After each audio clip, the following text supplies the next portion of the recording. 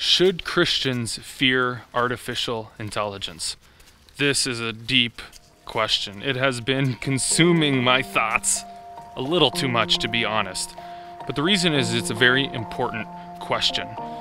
When we stop and think about it, what does media say about artificial intelligence? It says a few things. It says, be fearful, be scared. You think of shows like Black Mirror or Space Odyssey, and it says, AI is going to take over the world. Okay, maybe that's a little much, but actually, maybe we're not too far off, and we need to think critically about it. Because here's the best example I can think of Microsoft Tay. Have you heard about this?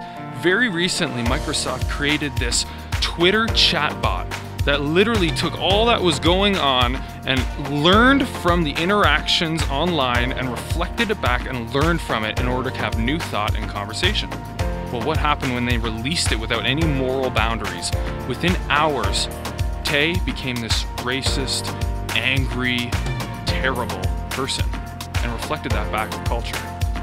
Now, this is very telling for two reasons. Number one, Microsoft Tay showed us what our society is like, and it showed us that AI just can take the information of society and the way we interact with each other, reflect back, learn from it, and then communicate it.